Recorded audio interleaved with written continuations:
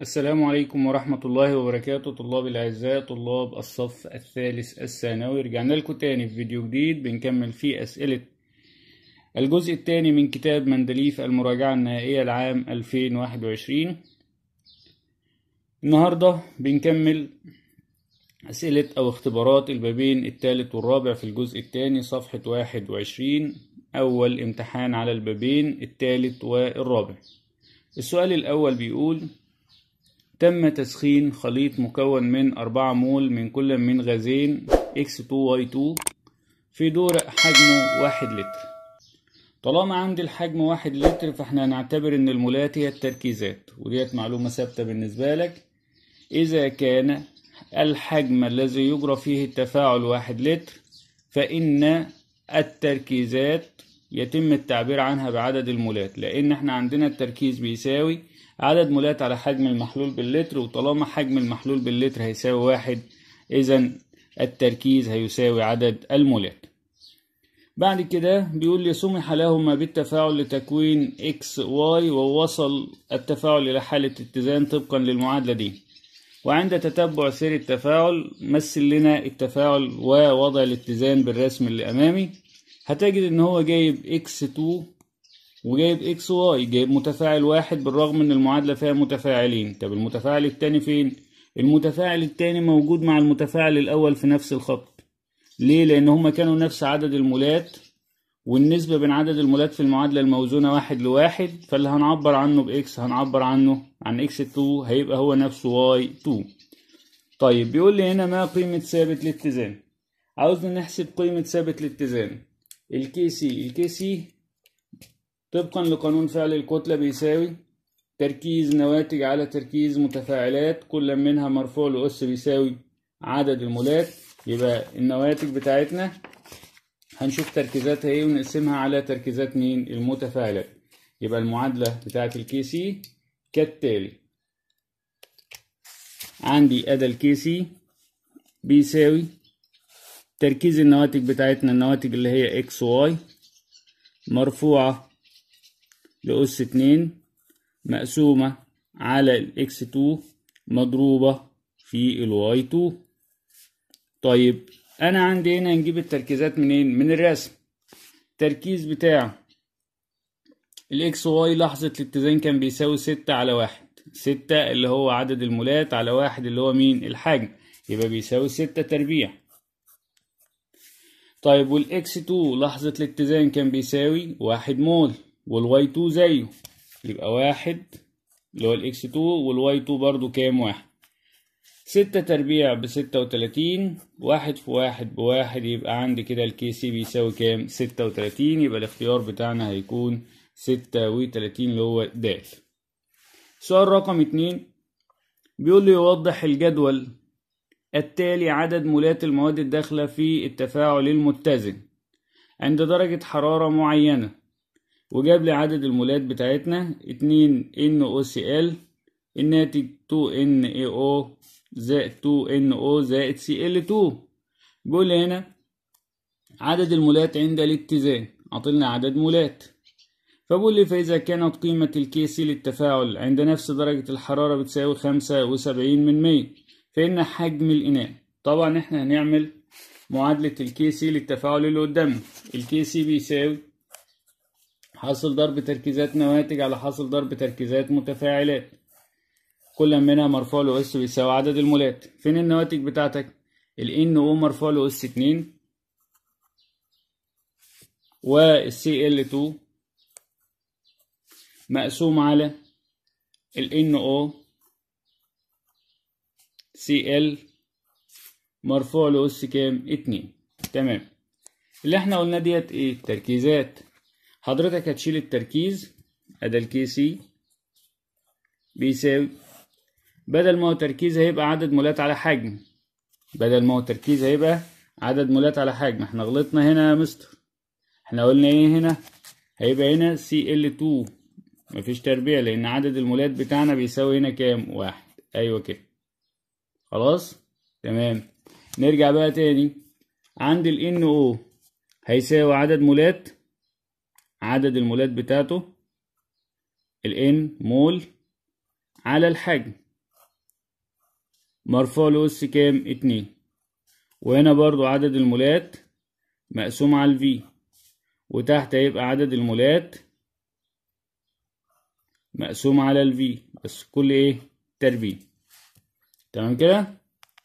هنشيل طبعا هيبقى عندي عدد مولات ال NO مقسوم على ال V تربيع طبعا ده هيبقى تربيع. مقسوم على V تربيع ال V تربيع ديت هتروح مع ال V تربيع اللي فوق وهيتبقى عندي فوق عدد مولات ال Cl2 مقسوم على V وتحت هيبقى عندي عدد مولات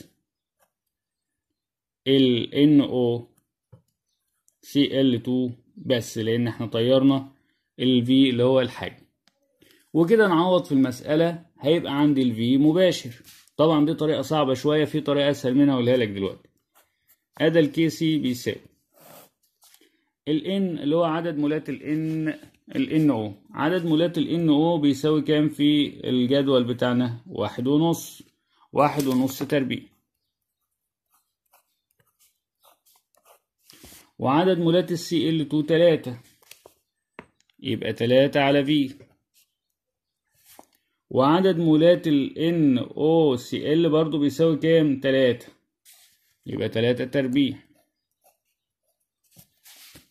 هنعوض عن قيمة الكيسي بخمسة وسبعين من مية. بيساوي واحد ونص تربيع في تلاتة مقسومة على في كل ده مقسوم على الفي اهون تلاتة تربيع يبقى بكام؟ بتسعة. على التلاتة فالواحد على التلاتة فيها تلاتة. هيتبقى عندي هنا نعرف نجيب له الفي.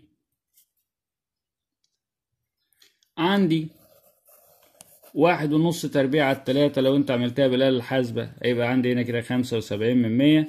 لو عملنا ديت على الآلة الحاسبة هتبقى اتنين وخمسة وعشرين من مية على التلاتة. المفروض على V ال V هتنزل تحت تبقى هنا كده. لو خلصنا دول على الآلة الحاسبة هيطلع معايا خمسة وسبعين من مية. يبقى أنا عندي خمسة وسبعين من مية تروح مع الخمسة وسبعين من مية. هيتبقى عندي هنا واحد على واحد بيساوي واحد على مين؟ على V يبقى إذا ال V لو ضربت طرفين في وسطين يبقى ال V بتساوي كام؟ واحد. طبعا طريقة صعبة وطويلة. في أسهل من كده. الأسهل من كده إن أنا هعتبر إن أنا هبدأ أعوض بالاختيارات اللي قدامي. يعني إحنا هنختار له كده واحد. اللي هو ألف. ممكن حضرتك بقى تعمل إيه؟ هتقول لي إن التركيز بيساوي عدد مولات على حجم المحلول باللتر. لو عوضنا عن الحجم بواحد هيبقى عندي هنا تلاتة وهنا واحد ونص وهنا كام؟ تلاتة. ونعوض عن عدد المولات على إنه تركيزات. إذا طلع الناتج معاه خمسة وسبعين في المية عن قيمة ال Kc يبقى كده تمام. ما طلعش. نبدأ نعمل إيه؟ نقول له إن إحنا عندنا التركيز بيساوي عدد مولات على حجم المحلول باللتر عدد مولات تلاتة ونعوض باتنين. يبقى تلاتة على الاتنين واحد ونص على الاتنين تلاتة على الاتنين وبعد كده أحسب له قيمة الكي سي طلعت قيمة الكي سي بخمسة وسبعين من مية يبقى هي الاتنين. ما طلعتش يبقى نشوف اللي بعدها. والحل ده بيكون أسهل بالنسبة لناس كتير وحضرتك تحل بالطريقة اللي تريحك. السؤال اللي بعده. سؤال رقم تلاتة. بيقول هنا في التفاعل التالي. ال PCl 5 انحل إلى PCl 3 زائد Cl 2 وعاطي لنا قيمة ال P بكام؟ ب 16 بيقول لي عند انكماش حجم وعاء التفاعل إلى النصف مع المحافظة على درجة الحرارة. خلي بالك مع المحافظة على درجة الحرارة ديت لأن دي مفتاح حل السؤال. محافظة على درجة الحرارة عن درجة الحرارة ثابتة. فإن قيمة ثابت الاتزان تصبح مساوية ل 16 برضه ليه؟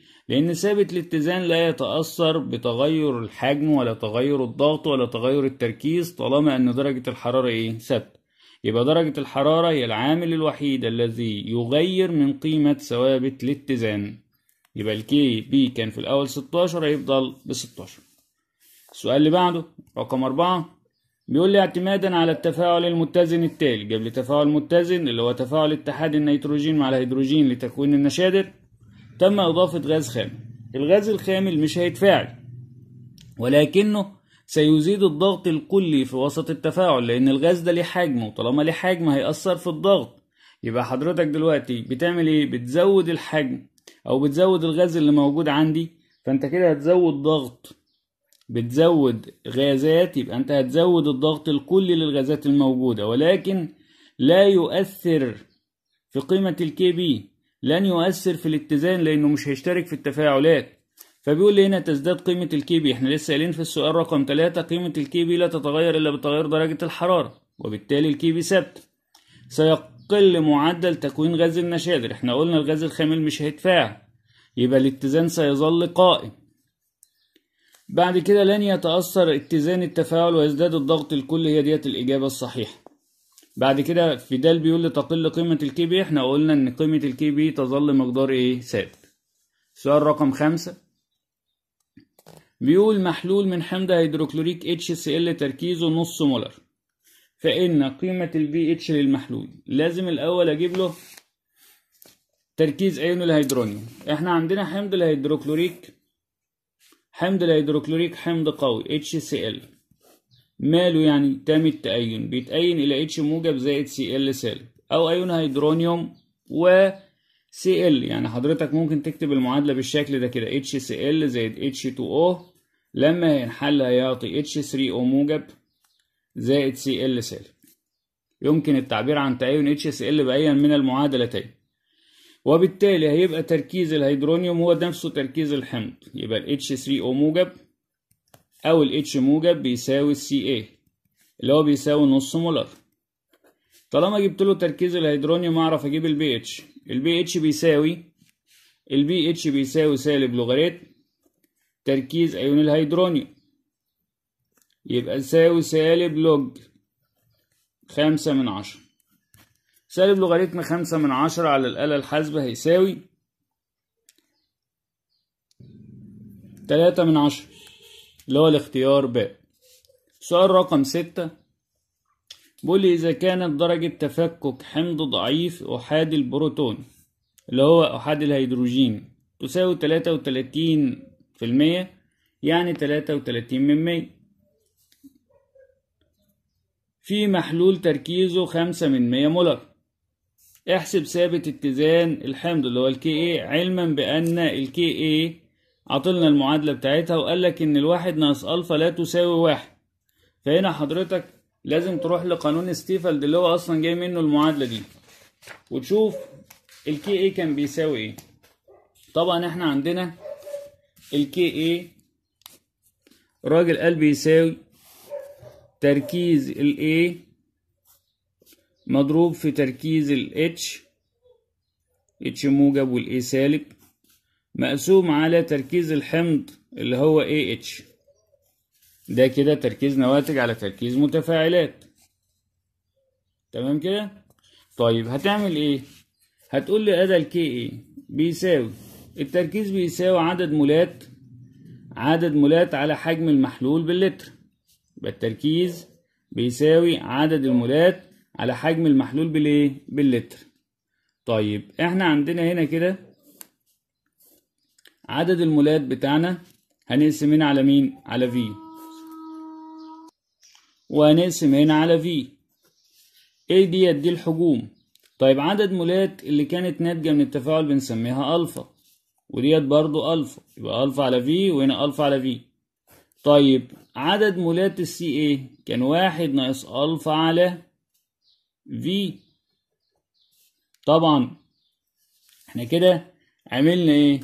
حولنا التركيزات اللي قدامي إلى قانون أوستفالد اللي إحنا كنا شغالين عليه باعتبار إن عدد المولات بتاعنا كان واحد.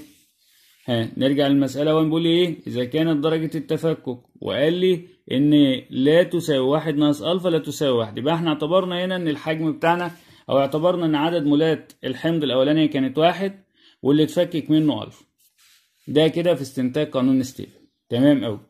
هنختصر في مع في اللي فوق. تمام كده؟ تعالى بقى نعوض. عندي هنا قيمة الكي إيه مطلوبة. تمام؟ عندي هنا ألفا في ألفا تبقى ألفا تربيع. على مين؟ على في مقسوم على إيه؟ واحد ناقص ألفا.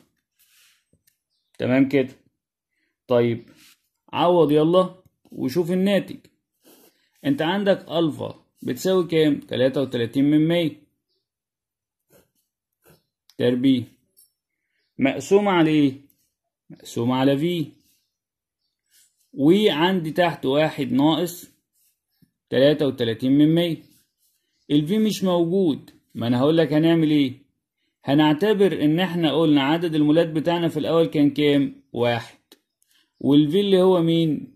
الحجم. واحد على V واحد على V يعني كأنه عدد مولات على حجم. عدد مولات على حجم يبقى إيه؟ تركيز. التركيز بتاعنا موجود ولا مش موجود؟ موجود. إحنا كنا بنقول الألفا تربيع على ال V هي نفسها الألفا تربيع في السي إيه تمام. يبقى انت هنا هتقول لي دي 33 من 100 تربيع. 33 من 100 33 من 100 طبعا ال V مش متربعة. ال V مش متربعه يا شباب لأن إحنا عندنا في واحدة هنا ألفا في ألفا تبقى ألفا تربيع على مين؟ على ال V. ال V مش متربعه يبقى 33 من 100 تربيع. في السي اي إحنا قلنا هنشيل واحد على V ونحط مين؟ سي اي سي اي اللي هو تركيز الحمض خمسة من مية مقسوم على واحد ناقص تلاتة وتلاتين من مية. هتلاقي الناتج قيمته بتساوي تمانية واتناشر من مية في عشرة أس سالب تلاتة تمانية واتناشر من مية في عشرة أس سالب تلاتة اللي هو الاختيار ألف. الاختيار بتاعنا في هذا السؤال هيكون الاختيار إيه؟ ألف. اللي بعده؟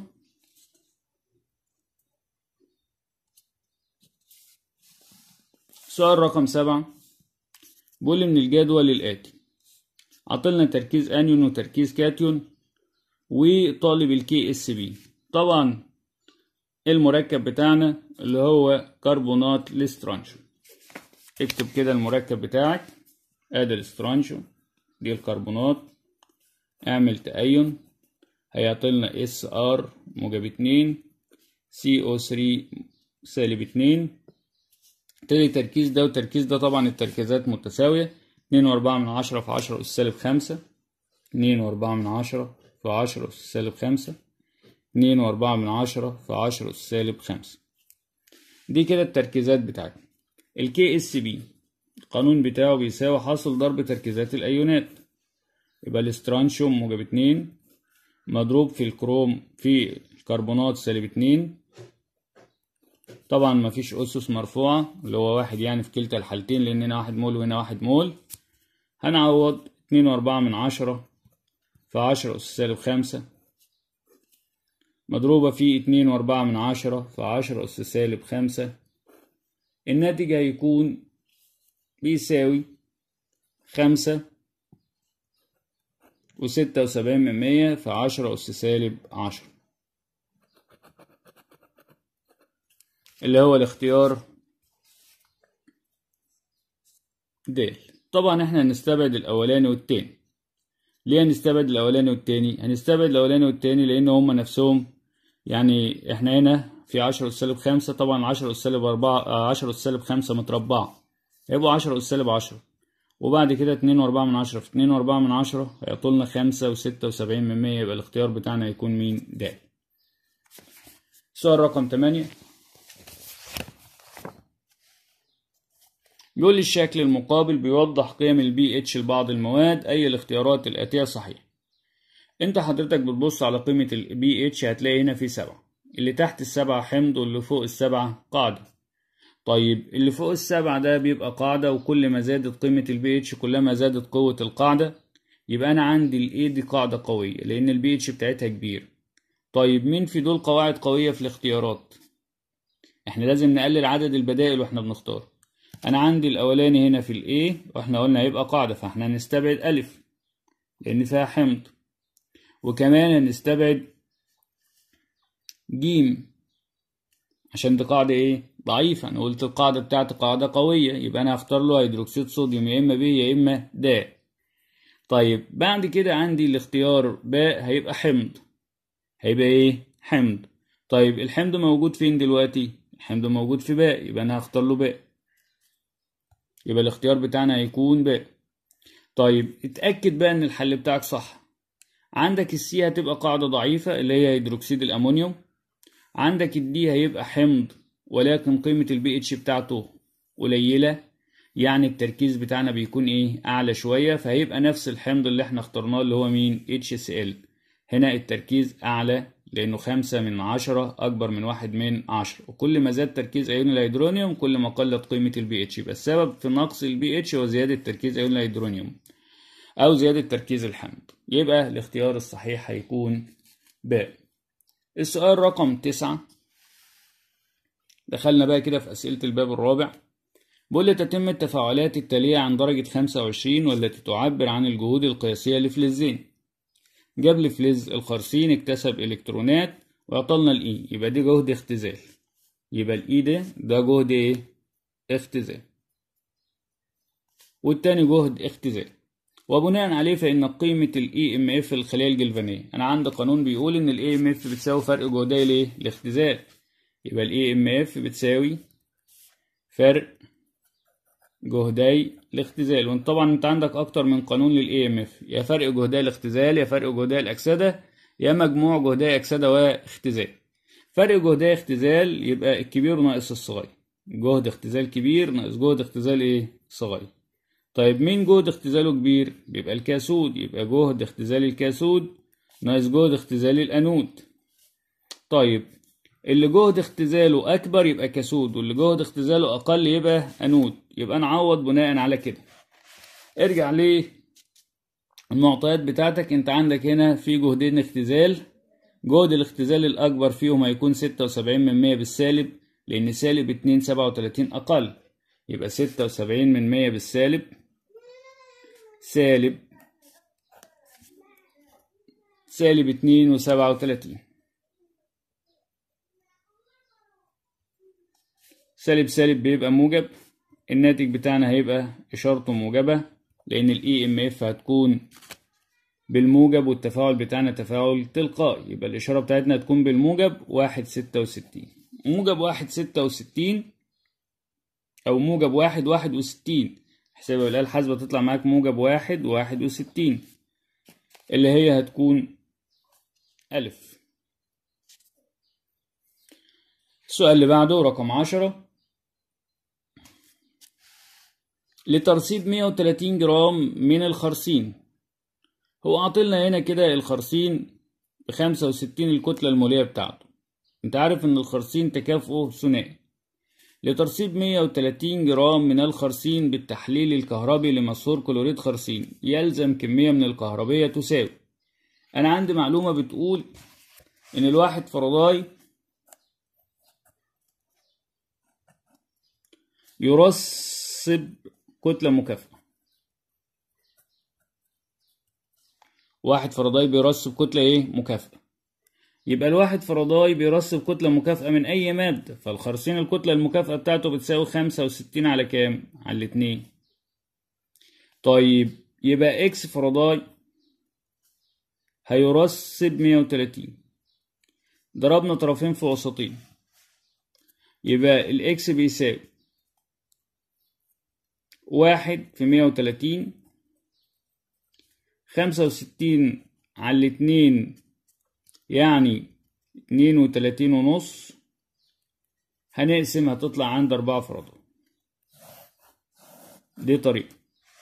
طب والطريقة التانية؟ عندي معلومة بتقول إن عدد الفرضاي اللازم لترسيب مول من أي مادة بيساوي تكافؤها. طيب إحنا عندنا تكافؤ الخرسين إيه؟ ثنائي. تكافؤ الخرسين ثنائي. يبقى إحنا نقول اتنين فرضاي بيرسب واحد مول. عدد الفرضاي اللازم لترسيب واحد مول من أي مادة بيساوي إيه؟ تكافؤها. يبقى اتنين فرداي بيرسب واحد مول. أدي اتنين فرداي. الواحد مول من الخرسين كام؟ خمسة وستين. يبقى X فرداي بيرسب كام مية وتلاتين نضرب طرفين في وسطين فيبقى عندي ال X بيساوي مية وتلاتين في اتنين على خمسة وستين. أدي فيها الواحد أدي فيها الاتنين في الناتج النهائي يطلع برضه أربعة فرداي ده حل تاني. يبقى كده أربعة فرضا السؤال رقم 11 والأيا من التفاعلات الآتية يمثل عملية اختزال. أيا من التفاعلات التالية بيمثل إيه؟ اختزال. الاختزال هو عملية اكتساب إلكترونات. طيب إحنا عندنا في العملية الأولانية فقد إلكترونات والتانية فقد إلكترونات. التالتة اكتساب إلكترونات يبقى هي جيم يبقى تعريف الاختزال عملية اكتساب إيه؟ إلكترونات. ينتج عنه نقص في عدد التأكسد. هنا عدد التأكسد كان بموجب أصبح بصفر. سؤال رقم 12 بيقول لي العامل المختزل. هقول له العامل المختزل ده اللي بيحصل له عملية أكسدة وأقول له تعالى بقى معايا كده نشوف المعادلة بتاعتنا. الكلور هنا كان بصفر. اتحول لسالب. يبقى كده حصل له إيه؟ يبقى كده حصل له اختزال. يبقى هنا غاز الكلور عبارة عن عامل مؤكسد واللي جنبه عامل مختزل اللي هو أيونات اليود. عاوز تتأكد؟ اتأكد. اليود كان بالسالب اتحول لصفر. من سالب لصفر زاد أكسدة يبقى عامل إيه؟ مختزل. يبقى ايونات اليودايد. السؤال رقم 13 بيقول لي في النظام الذي أمامك يمكن ملاحظة أحد التغيرات التالية. طبعا يا شباب إحنا عندنا في فرق بين غمس ساق من فلز في محلول أيونات فلز آخر. والخلية الجلفانية. غمس ساق من فلز في محلول أيونات فلز آخر. إذا كانت ساق الفلز أنشط فبيحصل تفاعل أكسدة واختزال. لا ينتج عنه تيار ليه لا ينتج عنه تيار لانتقال الإلكترونات مباشرة من ذرات الفلز الأنشط إلى أيونات محلول الفلز الأقل نشاط. وبالتالي مش هينشأ تيار كهرباء. والفلز الأنشط بيتاكل وأيونات الفلز الأقل نشاطا بتترسب أما الخلية الجلفانية بتتكون من نصين.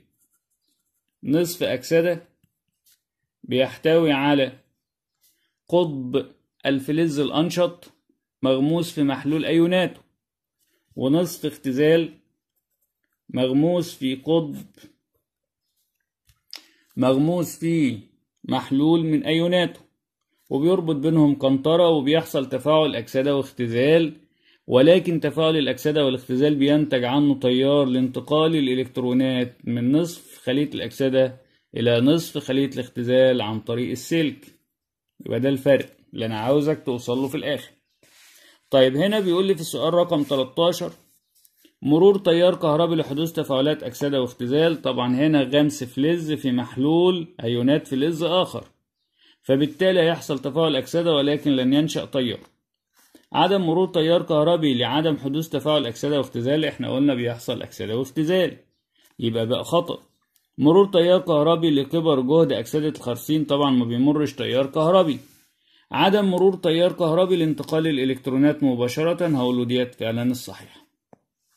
السؤال رقم 14 عند غمس صفيحة من الخرسين في محلول كبريتات النحاس اللي هي التجربة اللي فوق.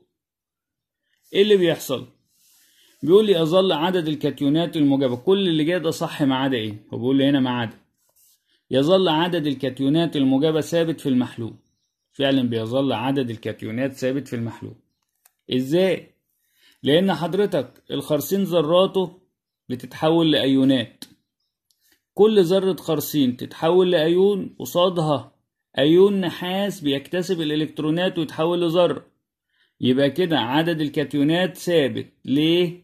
لأن النقص في عدد أيونات الخرسين النقص في عدد أيونات نقص في عدد أيونات النحاس بيساوي الزيادة في عدد أيونات الخرسين اللي بيحصل عندنا كالتالي. الخرسين Zn بيفقد إلكترونات وتحول ل Zn موجب اتنين زائد اتنين إلكترون فأنت هنا عندك عدد كاتيونات الخرسين هيزيد. هنا النحاس أيوناته موجب اتنين بتكتسب الاتنين إلكترون وبتتحول إلى ذرات. فكل كاتيون خرسين بيزيد قصاده كاتيون نحاس بيقل يبقى عدد الكلي للكاتيونات الموجبة ثابت في المحلول. تقل كتلة لوح الخرسين.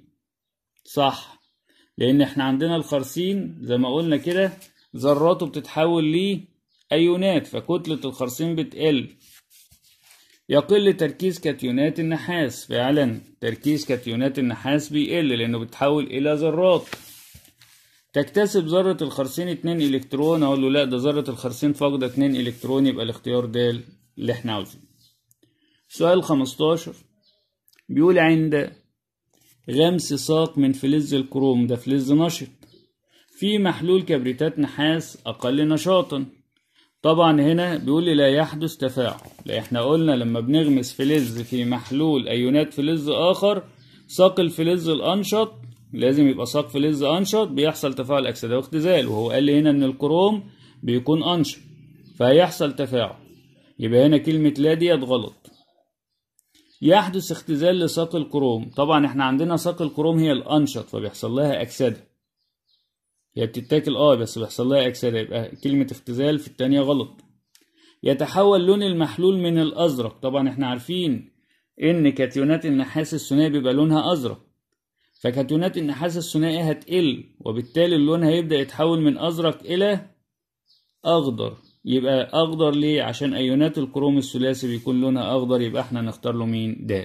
وهنا تفهم إن الكروم في هذه الحالة تأكسد من كروم بصفر إلى كروم موجب تلاتة يبقى الاختيار د هو الاختيار الأصح. وطبعا معلومة الألوان ديت موجودة في الباب الأول. سؤال رقم 16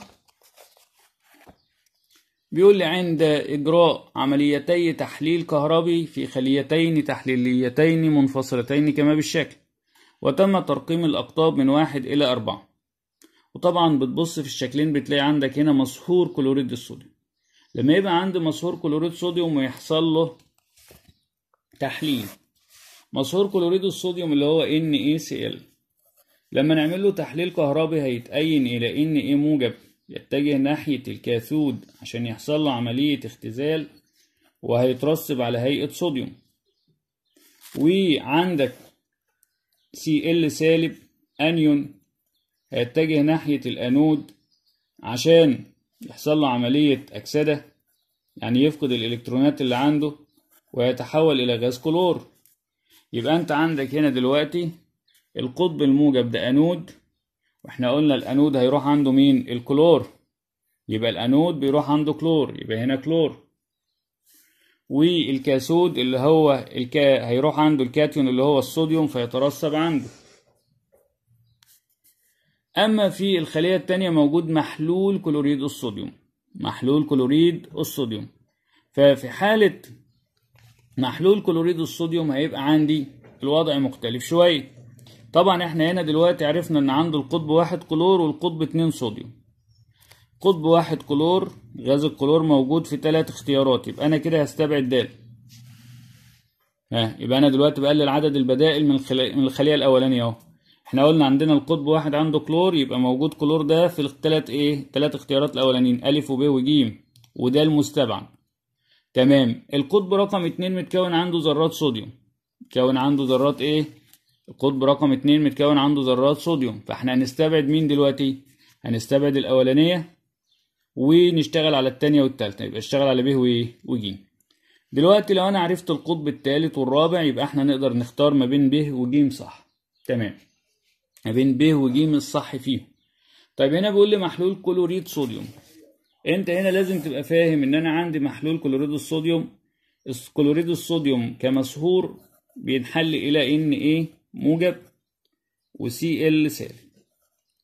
طبعا الصوديوم بيتجه ناحية الكاثود عاوز يحصل له عملية إيه؟ اختزال. هيفاجئ هناك بالمية. المية عاوزة كمان يحصل لها إيه؟ اختزال. هتقول له عفوا أنا اللي هختزل.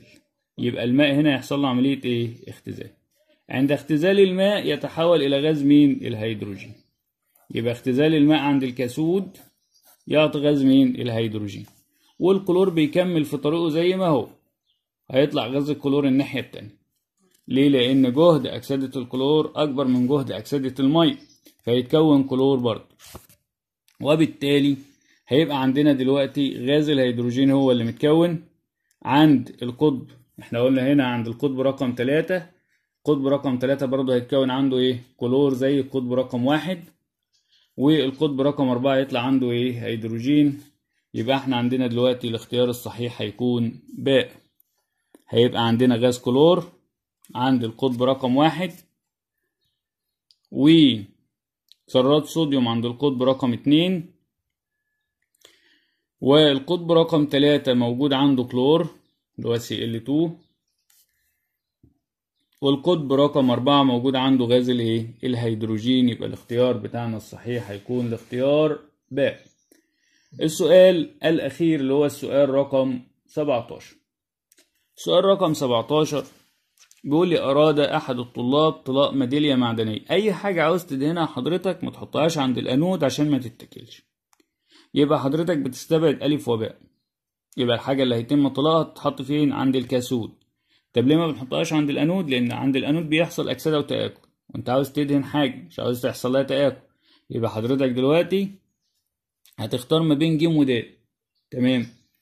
ومحلول الكتروليتي تستخدم محلول إلكتروليت.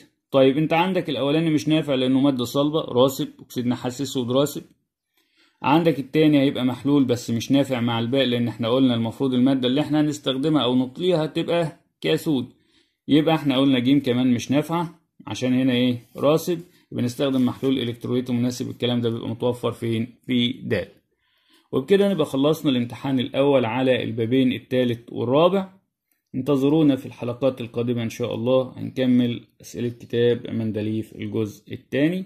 بالتوفيق يا شباب فيما هو قادم. والسلام عليكم ورحمة الله وبركاته.